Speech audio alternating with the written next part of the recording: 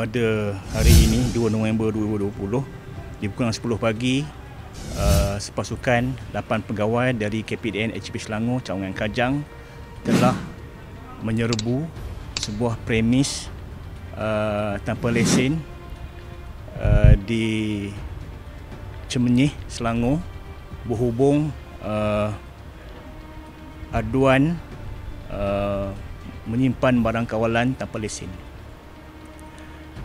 Hasil daripada risikan selama dua minggu, uh, pemilik syarikat didapati telah menyimpan barang kawalan berkenaan untuk dipasarkan di sekitar uh, Hulu Langat.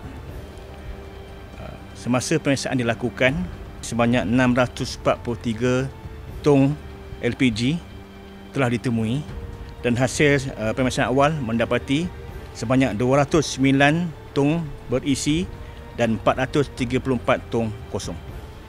Kes disiasat di bawah Seksyen 21 dan Seksyen 20.1 Akta Kemalakalan Selam 1 iaitu memiliki barang kawalan dengan niat melakukan kesalahan dan menyimpan barang kawalan di premis yang bukan dilesenkan.